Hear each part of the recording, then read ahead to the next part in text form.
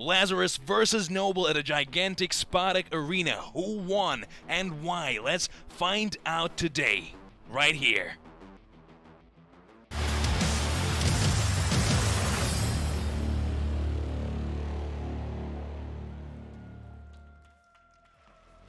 Lazarus and Noble, of course, are the eternal rivals in the Guns of Boom esports from Season 1 because both offline events that we had, they were there in the finals. They were fighting against each other and for two times in double elimination tournaments they actually went for two grand finals. First it was Noble who kicked uh, first it was Noble who was kicked down to the losers bracket who had to go the whole way through, come up, win the first grand final and then lose the second one to Lazarus. Then the second time it was Lazarus who actually went to the losers bracket and then they still won both grand finals. It was in Katowice, Poland uh, in last year and also in Los Angeles season 1 final. Those two uh, gigantic events. They were the ones that we had, and Noble and Lazarus are, of course, the household names at this point, and now they have a third time where they can try and actually decide who's the strongest team, of course. Of course, they both are trying really hard uh, to become better, and they are, I feel like, really truly becoming esports athletes because they are training they are looking for ways to better themselves and they had some roster changes uh, which I'll talk about a little bit later because unfortunately uh, unfortunately for Lazarus Romeo who was uh, who was with them from the beginning he couldn't uh, he couldn't make it uh, to this tournament in particular. At the last moment though they had to take a stand-in who is of course Spleen a really really strong player but still uh, when you have a stand-in at the last moment really takes a toll. And we'll see that because the results uh, the results of this particular tournament is, is is quite bad for Lazarus because they had and spoiler alert this is a recap. We're thinking about why what and how it happened. I'm gonna give you the results right now. If you don't want to know them please leave the video. Uh, and if you are staying here don't be mad at me later. So Lazarus actually lost 4-0 here. They lost 4-0 uh, to Noble.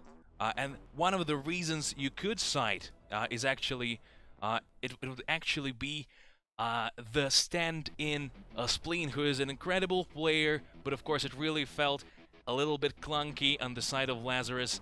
But moreover, not only Lazarus have a new player, uh, but Noble also have a new player, and it's Nokia, and it's not because he's a stand-in, but because they've actually enlisted him, recruited him as a like a young prodigy from an American team.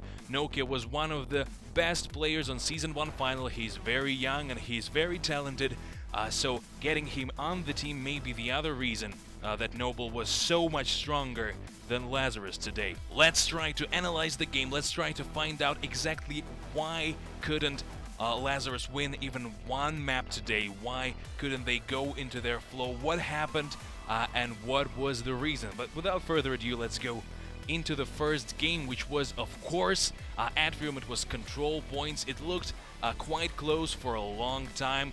Uh, the players are using the consumables, new consumables uh, that you can use in the Season 2 that we have unlocked. It's G-launchers and flashbangs and many others that change the gameplay uh, quite a bit and it seemed it seemed quite even but uh, after some time has passed you know, we could clearly see uh, that Noble have been moving around a lot better. Their team movement their team communication was on another level compared uh, to Lazarus and Lazarus just couldn't get any point uh, for a long time. The, uh, the Noble actually even went for a triple cap.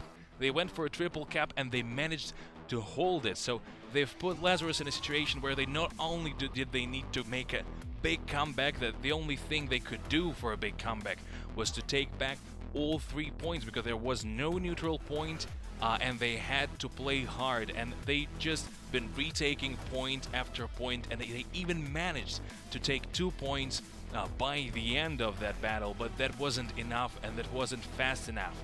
It really felt like Lazarus just needed to get into their groove uh, needed to play smoother, needed to uh, maybe cool their heads a little bit, but it just it just didn't seem uh, to connect for them at any uh, point of the map. So uh, as far as the weaponry, I'd say it was pretty classic with uh, people using scouts to get on the points as fast as they can and preferring shotgun battles to any other. So there was no uh, no sniping that sometimes you can see on Atrium. It was more about speed. Uh, with assault rifles, uh, usually Odin used for mid-range.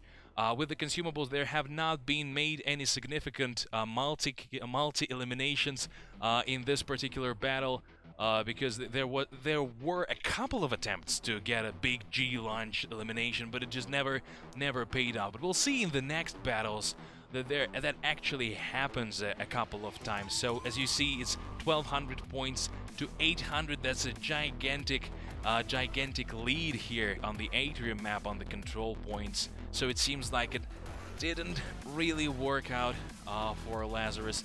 Uh, they've been trying really hard and uh, it is quite typical actually for Lazarus to lose the first uh, battle that they fight against be it Noble or maybe any other team because they sometimes take a little bit of time to start up and of course the pressure the pressure is immense when you're playing in a gigantic stadium and there are no other teams there's just you and your opponent and nobody else there because that's that's the only people everyone came to see. It's a, like a big name duel, not not like the tournament where you can go through levels and levels and levels. So maybe Lazarus were feeling a lot of pressure. Not to mention that they were, of course, the champions of the entire first season to be the champions of the entire first season means they have the most pressure on them, the most expectations made of them. So let's go and see how they try to turn that around in game two. Let's see it right now. Okay, of course, uh, the second game was uh, Team Deathmatch, which is uh, quite different from the Control Points and Atrium, uh, specifically because here it's all about the way that you, uh, the, the, your shooting skills, it's about the, the level of your gameplay uh, itself because it's not as much about team movement but here Noble actually showed even though it still began quite even uh, that uh, they can win they can win in head-on battles because they have been exchanging at first slightly better but that uh, that gap has only been growing uh, since the beginning because they've been just winning team fight after team fight Lazarus for some reason were uh, really trying, uh, really starting to separate a lot. And uh, Noble were they were like moving like a, an one organism. They have been uh, not going forward when they shouldn't have. They were uh, keeping close together. They were uh, supporting each other. They were covering each other's backs, just like their previous name suggests to back to back. They haven't been playing as risky as before. and Noble were very famous for playing very uh, very risky plays with uh, KM just charging in uh, and trying to flank everyone. But here, uh, as we'll see, they are playing quite defensively. Uh, here, here they are defending their their point, and they're not not letting any any stray uh, Lazarus players come behind them or do anything. As you can see, they have two pairs controlling the map perfectly, and they are 40 points ahead. And that that difference is going to only uh, grow as Lazarus are will be trying to will be trying to flank them uh, and go alone uh, and they're just not going to work here. They are uh, simply outmatched uh, at shooting by Noble. Uh, and all around it feels like Noble is like a level above Lazarus this this tournament at least. And it could be it could be attributed to the fact that Lazarus doesn't have their doesn't have their full roster. Uh, but then again, uh, it's still it is a sport, and it is important uh, to be uh, prepared for such situations. Maybe they need uh, a constant backup player, but they're not bringing their best plays uh, to the table today. as we we will see some more. we will see some more interesting plays here, but what I'd like to say, the consumables also, which are a really big new part of gameplay, they are being used here. They're not being used to their I'd say to their fullest uh, uh, fullest ability because I'm not even sure if all of the grenade launchers have been launched or maybe they haven't dealt uh, enough damage. As you can see, it's like 100 points ahead for Noble, and they are not going. They're not getting cocky. They're not getting like overconfident. They're not running in. They're still moving together, and they really seem calm. And as we'll maybe be able to see uh, later on, uh, it feels like Lord Mano on the stage was not his stern, uh, commanding, calm self. He was looked a little bit frustrated. Uh, we would see uh, Spleen uh, actually, Spleen actually being maybe the most passionate player on the stage, and Lord Mano getting kind of uh, taken aback by the situation. But here it is 2-0, and it is, of course, the moment where Lazarus really needed to pull together. And they're going to do that in a second. They're going to pull together on the third map, and of course, as we know, it's not going to be enough. But it's still, it's still incredible to see what they can do even in this uh, horrible, horrible situation for them where they need to bring everything to the table. Uh, and they need to overcome uh, not only themselves but also the new noble, the new noble, the improved, the way more, the way more well played noble, and they just cannot do that. Okay, let's see the third game. The third game is also control points, and here, uh, incredibly, Lazarus actually managed to take uh, point B and keep it for a long time. This is a like the old uh, Lazarus tactic where they uh, they take point B and they control all the choke, choke points and they're not letting Noble breathe and they are taking more points and they're going to have two points uh, A and B most of the time. We see a G launcher actually Lord Mano neutralizing KM with a G launcher which is a risky play and it would have a bigger payoff if he actually got more people with it. But it seems to be enough because uh, Noble keeps running in here and Spleen getting another nice uh, G-Launcher here just because all of Noble were on the point. That's the perfect use for it. Uh, and th that's the perfect way for them to hold it. And Noble tried to retaliate with Gonza using a G-Launcher, and it is really, really a warfare tactic where you need uh, to unleash the big damage, the big guns, uh, at exactly the right moment. Uh, and it's right here, uh, almost um, almost deeper into mid-game, that they almost lose all three points, and Noble still uh, again goes for the triple cap. And I think how they managed to do that, they actually went around Lazarus. And it really felt like Lazarus were just throwing themselves, th throwing themselves on point B, uh, being very single-minded about it and, and in an admirable way. But it seems like Noble uh, often uh, in all of these maps calmly uh, evaluates the situation and just decides to, okay, so they're blocking us here, we're gonna go around, we're gonna uh, deal with it this way. Uh, and they are, uh, in those situations, winning every time. And it feels like they just have more options available to them, while Lazarus are just really trying to push uh, through a single point. and here it's actually Excellency uh, is going for some reason alone on point A uh, and you know you really don't want to do that you never want to go and capture a point uh, alone unless you're absolutely sure the entirety of the opponent's team uh, is already down and here uh, it feels like Lazarus is just crumbling because they are running one at a time at their enemies not doing any significant damage not doing anything uh, important. It's just like it feels like they uh, don't know what to do, and each player just trying to uh, give it everything he has and hope that it's going to be enough. But of course, uh, Guns of Boom is a lot harder than that. You cannot just uh, believe in yourself and win because you need to work with your team, you need to coordinate, uh, and if you go into an unfavorable situation, you're not going to win no matter how well you play and no matter how much spirit you have. And as you can see, the point gap which was very close, uh, grew to almost uh, 300 points uh, in a matter uh, of a minute. And it's also uh, ended really, really fast, and that's just how it goes. But both teams are, of course, incredible, and for many Guns of Boom players, they are legends. They already are like living symbols, and players have been uh, voting for who they are, who they think is going to win, and as the results uh, suggested, it was almost 50-50. It was like 53% to 47%. So the faith in both teams uh, was very high for the Guns of Boom community, uh, and look at them. They really are uh, legendary in many ways, and, and today uh, they are wearing their jerseys. They are uh, like they are signed up by professional esports organizations, and they are maturing as esports teams because what they are doing is not easy. It takes a lot of mental fortitude. It takes a lot of belief in yourself, in your teammates, uh, and in, in, in the skills, and just always being open because everything changes, and the season two has different uh, different rules, different gameplay, and you have to adapt. You have to carry the burden of being champions.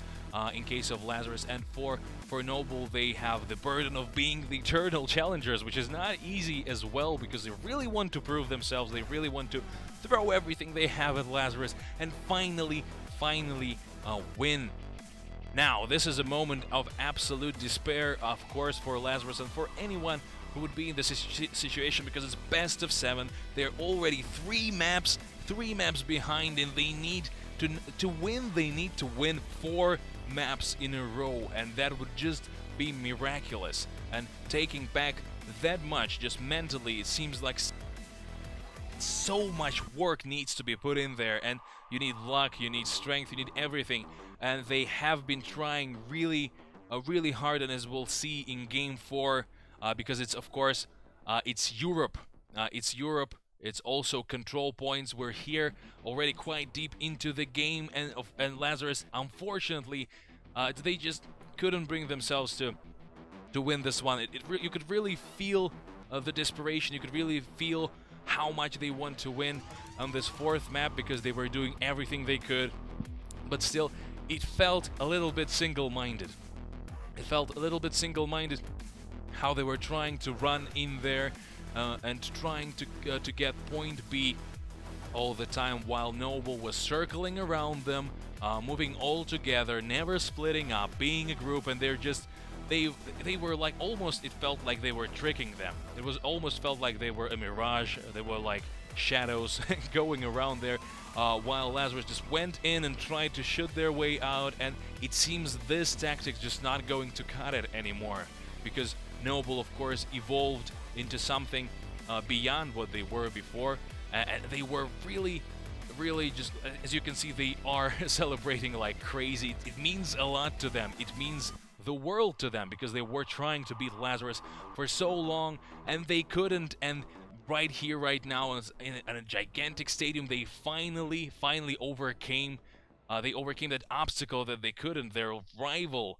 Uh, and really how devastating it would be for Noble to lose for the third time to the same opponent being so close. And as you can see, Nokia is actually doing an incredible, uh, an incredible gesture of I love Guns of Boom, and I think some money throwing around he's just he's just going crazy. The other noble players are a little more a little more uh, conserved. And here, look look at this T-shirt. Look at this T-shirt. It was great. Spleen of course, not not, not too happy because it, it is of course devastating. Nokia, I love God or God. yes, this is. This is this, this man right here knows how to how, how to do a, a real show. What can I say? It is uh, uh, it is also really incredible how much passion he has for the game. He's of course uh, quite young and he's a very promising player. Uh, KM being uh, a lot older and uh, also two aces and two brothers in Noble right now playing right about to uh, lift the trophy and they really deserved it today. They really deserved winning this. Uh, no matter that Lazarus couldn't maybe bring their best game and all of their players to the table today, uh, Noble took that chance like it was nobody's business. They just really they steamrolled, steamrolled Lazarus. They never left them a chance, and they didn't pull any punches. And I think that's respect. I think that's respect right there. Uh, and the guys, the guys deserve this uh, celebration. and the fire show is quite beautiful. You can see gigantic screens uh, with their faces, with their teams. And it is also for the first time, and I, I believe I believe it is an uh, an incredible, incredible feeling. Uh, I, do, I do uh, honestly envy them because for them it is also, as for us at Guns of Boom, just uh, the beginning of a really, really big road uh, in esports, a long road, and we're going to go to even a bigger places. We're going to go to go even further, and this uh, stadium is the perfect way, the perfect way to start, the perfect way to start second season uh, which is going to be massive, which is going to be spectacular. and it's just, it's just, uh, I think it's incredible, guys, and I'm really happy we could see this. Uh, as you can see, I think Noble won because they were the most prepared. They were the most determined. They put in the work. They enlisted a new player. They revised their strategy. They uh, changed uh, the whole their whole identity just to beat Lazarus. And Lazarus unfortunately couldn't bring their best to the table, and that's uh, what they get. Now they have, I'm sure, great motivation to uh, keep trying and to beat uh, to beat Noble next time. So now Lazarus needs to work through the Challenger Series, through the Pro Series to get a ticket to Gods of Boom, where Noble already is going. So in just several months, uh, maybe we'll see another Noble versus Lazarus. But for that, there needs to be a lot of epic battles happening all over the world, and I hope we'll see that very soon. And I'm really happy that you guys came in and watched the stream. If you haven't yet, go watch it now. Uh, this is just a recap. I'm sorry if you just spoiled uh, everything for yourself, but go watch it anyway. It was epic, it was incredible. Come to our next events, and I'll see you on the battlefield.